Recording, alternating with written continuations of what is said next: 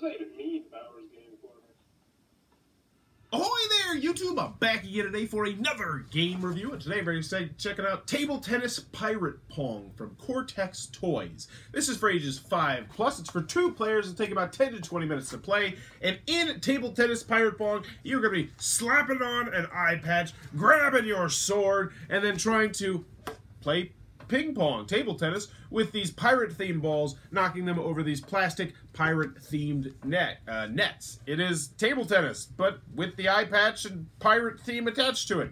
Is it good? Let's open it up and I'll tell you what I think.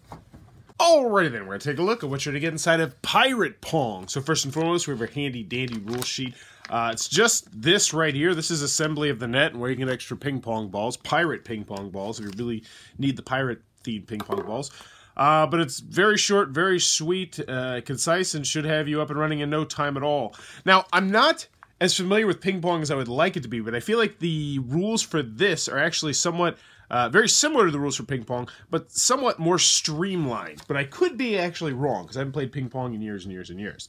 So in Pirate Pong, you are going to first put on one of these pirate patches to cover up your eyes because that's the whole point of the game is that it's going to be messing up your depth perception. It does make the game more difficult, which also speeds up the game as well. These two are currently tied together, but you know how they work. You put it on your eye.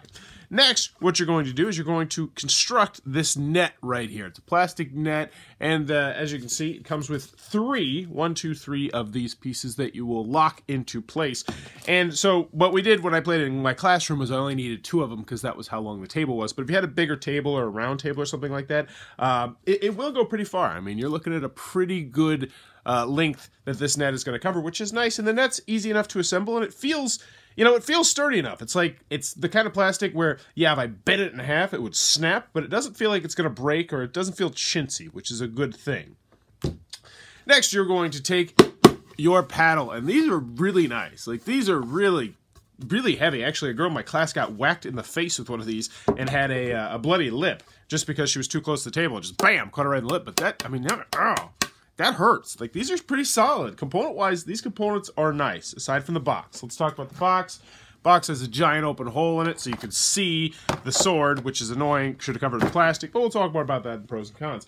And then from from this point on, it's pretty much your typical game of ping pong where you're trying to knock it over the net. Now, obviously, I'm rolling a felt table right now, which means we're getting next to no bounce with these balls. But these really cool looking balls do bounce uh, on hard tables actually really, really well. I was very pleasantly surprised with how that worked. But you're going to take turns. I'm going to serve twice. This guy's going to serve twice. You're going to go back and forth, trying to be the first person to score 11 points. And once you get to 11 points, win by at least two points. You have to win by two points. Pretty standard ping pong rules, I'm pretty sure. And you can play as many games as you want. They recommend either three or five games per person to win.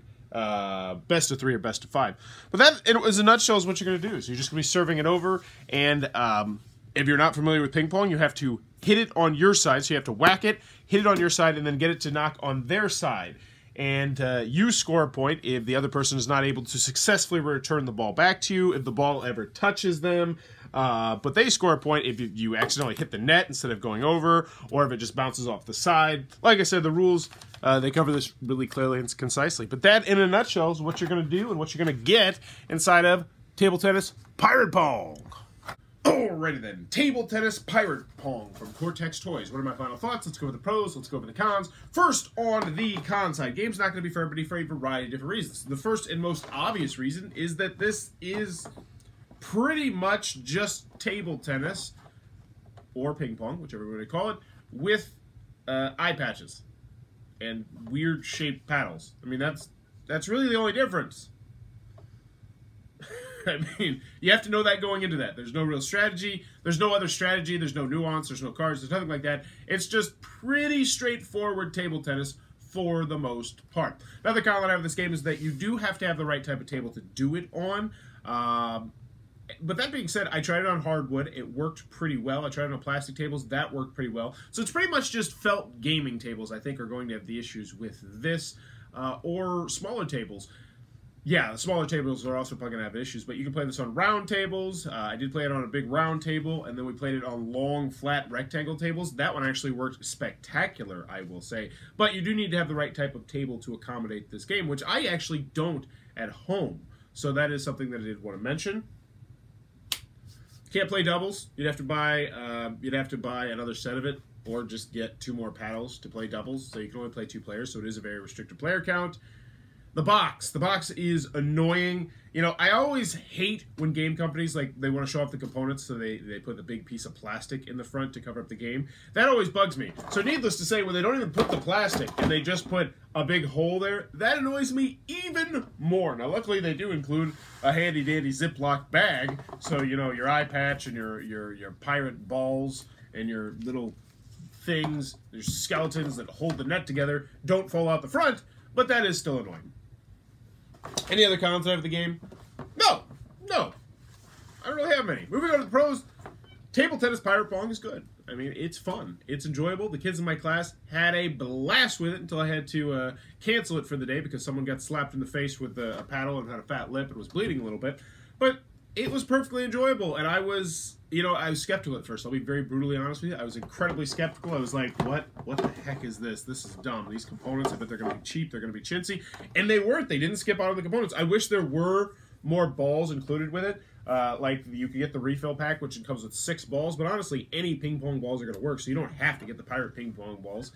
The nets work well. I mean, it is a little bit more difficult than you might like to put the little skeleton parts on there, but I feel like they're very locked in, secure in place. They're not going to break, which is good unless you're like really bended.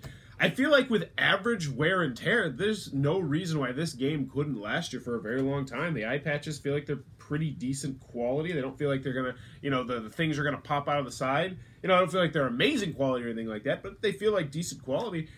And in the end, it's it's pretty simple. If you want an at-home version of table tennis or ping pong, I think that this is not a bad way to go. I mean, you could easily just don't tell them this, but get rid of the eye patches and just play regular table tennis or ping pong on a table if you would like. And I'm sure there's something out there that lets you do this already. I am 100% sure that there is, but I've never seen it.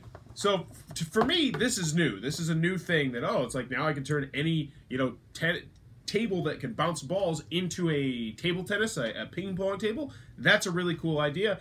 And I think that while this game isn't amazing and it's, you know, but it is really cool. And, and the kids had fun with it. I had fun with it until I had to stop and clean up blood. And in the end, table tennis pirate pong, it's this simple. Do you want an at home version, two player version of table tennis or ping pong with eye patches? If the answer is yes, then yeah, check this one out. Easy recommendation, aside from the stupid box, which I hate. Uh, if you don't, then no, I can't recommend this. This is too. This is very clear, very clear. Oh, it also says ages five plus. I would agree with that because you know it's just it's just simply knocking the ball back and forth. Uh, my son did play with it. We played with it at the kitchen table, which made it really difficult because our kitchen table's like raised up high, so we just kind of you know we were more we weren't playing the game. We are just more kind of just having fun with it. But he enjoyed it an awful lot. So there you go. Table Tennis Pirate Pong Cortex Toys, one that I can recommend if you're in the market for an at-home table tennis style game that, hey, even includes some eye patches. And that's another thing that I did want to mention. I don't want to downplay the eye patches too much because I did actually like that element of the game. It sped the game up and it made things substantially more difficult. Like, you don't realize how difficult it is until one of your eyes is covered and you're trying to hit this tiny little ball. Well, there you go. If you enjoyed this review, please try to click on that subscribe button down below. If you want to support the channel, click in the show notes down below. Click on that little Amazon link. Buy anything on Amazon. It throws a couple pennies my way, which really does help support the channel.